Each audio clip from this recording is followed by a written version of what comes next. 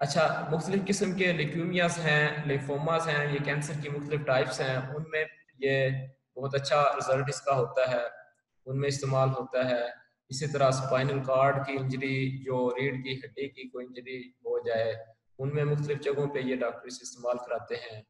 इसी तरह ब्रोंकोस्पास ब्रोंकोस्पास्टिक ये जो क्या लें, दमे के मरीज़ होते हैं जिनमें उनका सांस की नालियाँ तंग हो रही हो रही होती हैं। उनमें ये इनहेलेशन के ज़रिए, सांस के ज़रिए जैसे वो नेबलाइजर मशीन होती है, उसमें डाल के इस तरह मुख्तलिफ़ जो ये स्टीराइड्स हैं, वो इस्तेमाल होते हैं ब्रोंकोस्पास ब्रोंकोस्पास्टिक कंडीशन में, जिसमें सांस की नालियाँ तंग हो रही होती हैं। उसमें ये यूज़ होता है और बड़ा अच्छा रिज़ल्ट देता है। इसी तरह रिनाइटिस है तो ये नाक की जो एलर्जी होती है, छींकें वगैरह जिसमें आती हैं, उसमें इंट्रानेजली इसे देते हैं, नाक के ज़रिए मुख्तलिफ़ नाक में डालने के लिए स्प्रे आते हैं ड्रॉप्स आते हैं, वहाँ पे ये यूज़ होता है। और इसी तरह ये टॉपिकली भी यूज़ होता है मुख्तलिफ़ इन्फ्लेमेशन में, जिनमें आई की इन्फ्लेमेशन हो गई, कान की इन्फ्लेमेशन और स्किन की बात जगहों पे जहाँ इन्फ्लेमेशन हो रही होती है तो वहाँ ये इस्तेमाल हो सकता है।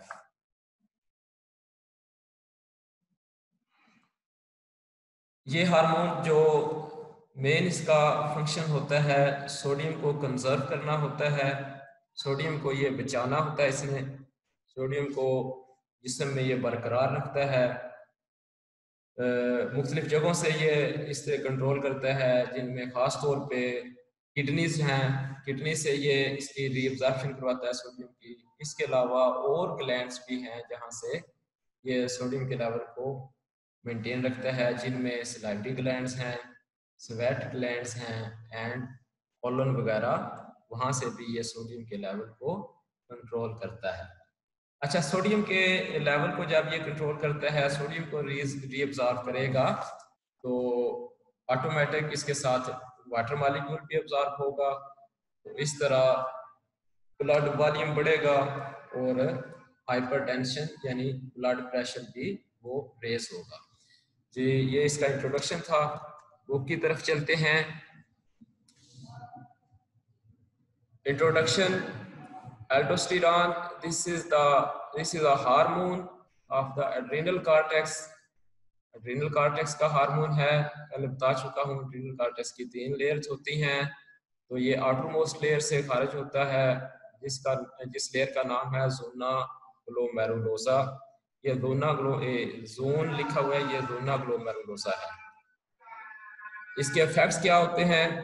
केमिकली अच्छा ये ये इंट्रोडक्शन से इसमें केमिकल जो क्लासिफिकेशन है, ये बता चुका हूँ, ये मिनरलोकार्टिकाइड्स है, ये स्टीरॉयड हार्मोन्स है और स्टीरॉयड्स के आगे जो ग्रुप्स हैं, उसमें से इसका ग्रुप बनता है मिनरलोकार्टिकाइड्स मिनरल्स मींस इलेक्ट्रोलाइट को ये कंट्रोल करता है, उस हवाले से इसे मिनरलोकार्टिकाइड्स कहते हैं। इसका इफ़ेक्ट क्या है? मुख्तलिफ़ जगहों पर इसके इफेक्ट्स देखते हैं। Effects of aldosterone number one पे है affect on the renal tubules गुर्दे की जो नेफ्रॉन्स की नालियाँ हैं, उन पे कैसे इफ़ेक्ट करता है? The main action of aldosterone is to maintain is to maintain balance of electrolyte content of the body fluids जैसे पहले बता चुका हूँ कि इलेक्ट्रोलाइट बैलेंस है, उसे मेंटेन करता है। द साइड ऑफ़ एक्शन और the ascending limb descending limb loop of Henle ये नेफ्रॉन की जो नाली है, उसके जो पार्ट्स हैं ascending descending and loop of Henle उन पे ये असर करता है. And distal and collecting tubules और डिस्टल कलेक्टिंग ट्यूब्यूल्स में भी इसका असर होता है. Aldosterone causes increase tubular reabsorption of sodium. Aldosterone जो सोडियम की रीअब्जॉर्प्शन है, उसे बढ़ाता है in exchange of potassium potassium के बदले में एंड हाइड्रोजन आइंस और हाइड्रोजन आइंस के बदले में। The lack of aldosterone aldosterone की कमी causes an excess loss of sodium in the urine. इसकी एल्डोस्टेरॉन की कमी में ज़्यादा सोडियम ज़्यादा सोडियम यूरिन में खारिज हो जाएगा। And aldosterone increases the potassium secretion into the uh, distals and collecting tubules of the kidney.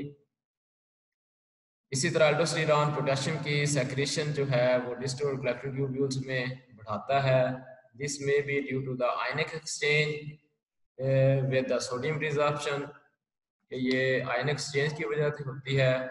Sodium के बदले में excess aldosterone causes the hypokalemia अगर ज़्यादा एल्डोस्टेरॉन हो जाए तो हाइपोकालीमिया काज कर सकता है एंड मसल पैरालिसिस और हाइपोकलीमिया मुख्तलिफ़ मुख्तलिफ़ मेडिकल कंडीशन काज करता है, जिसमें जिसमें हार्ट बीट एबनॉर्मल हो सकती है हाइपोकलीमिया की वजह से, और इसी तरह के और भी इसके काफ़ी जिसम में असरात होते हैं। एंड लास्ट पे है इसका इफ़ेक्ट जो aldosterone causes water absorption aldosterone water की एब्जॉर्प्शन भी करता है due to the gradient concentration gradient के वजह से created by the sodium absorption sodium की एब्जॉर्प्शन की वजह से जो पैदा होती है। कंसंट्रेशन ग्रेडियंट जो सोडियम की एब्जॉर्प्शन की वजह से पैदा होती है उसके बदले में ये वाटर एब्जॉर्ब करता है increasing the extra cellular fluids जिसमें एक्स्ट्रा सेलुलर फ्लूड जो है, उसका वॉल्यूम बढ़ जाता है और नतीजा तन ब्लड प्रेशर भी रेज होगा। या ना ज़्यादा मकदार, यानी ज़्यादा मकदार में एल्डोस्टेरॉन लिया जाए या इस तरह के स्टीरॉयड और भी शायद आपने देखो मेरे तजर्बे में तो गुजरे हैं इस तरह के कुछ लोगों को ऑब्ज़र्व किया है कि उन्होंने स्टीरॉयड उन्हें इंजेक्शन फॉर्म में इस तरह ज़्यादा दिए गए हैं। तो उनके जिसम पे मुख्तु जगहों पर उनकी सोजश आ जाती है, जिसकी एक बड़ी वजह ये होती है कि ये मिनरलोकार्टिकॉइड्स जो हैं, इसी तरह के सिंथेटिक हार्मोन जो बाज़ार में इस्तेमाल हो रहे हैं, आजकल तो बहुत ज़्यादा ये इस्तेमाल करवा रहे हैं। तो उसमें इस तरह की कम्प्लिकेशन बात आ जाती हैं और इसका फिर बहुत मतलब सवीर साइड इफ़ेक्ट भी हो सकता है किडनीस पे लीवर पे। अगर इसे डिस्कस करने लगे तो इसमें काफ़ी ज़्यादा इसके तफसील है, यानी हर जगह पे इसके अपने साइड इफ़ेक्ट्स हैं। बहरहाल, जो मेन इसका मैकेनिज्म ऑफ़ एक्शन था, इसका इंट्रोडक्शन था, ये आज हमारा अल्डोस्टीरान के मतलब ये आपकी बुक के मुतल ये कंप्लीट हो गया।